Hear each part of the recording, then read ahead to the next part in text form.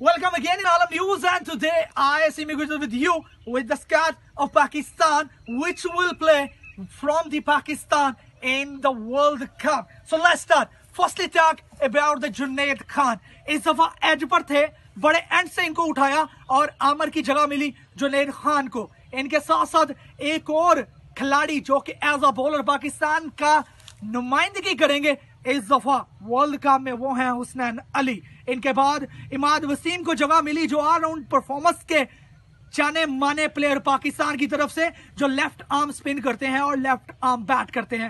ہاریو سہیل بھی left arm سپن اور لیفٹ آرم بیٹ کر سکتے ہیں، لیکن ان دونوں کو ایک دوسرے کی جگہ لینی پڑے گی۔ اس کے بعد بات کر لیتے ہیں حسن علی فاہیم اشرف اور شاہین شاہ افریدی کی، جو ایز آ بولر تو کھیلیں گے، لیکن حسن علی اور فہیم اشرف بڑی ہٹس کے نام سے بھی جانے جاتے ہیں۔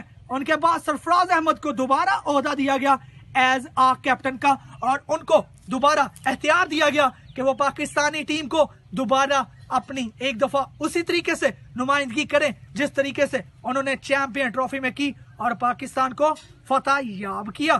اور ان کے بعد بات کرتے ہیں محمد حفیظ، شعیب ملک، باور اعظم اور فہد زمان کی، جو اس دفعہ پھر پاکستان ورلڈ کپ کا حصہ بنیں گے۔ یعنی کہ چیمپئن ٹرافی میں بھی یہ کھلاڑی موجود تھے اور اس دفعہ ورلڈ کپ میں بھی ان کو دوبارہ موقع دیا گیا۔ سکوار تھی پاکستان کی۔ امید ہے کہ پاکستان اس دفعہ ورلڈ کپ جیتے گا۔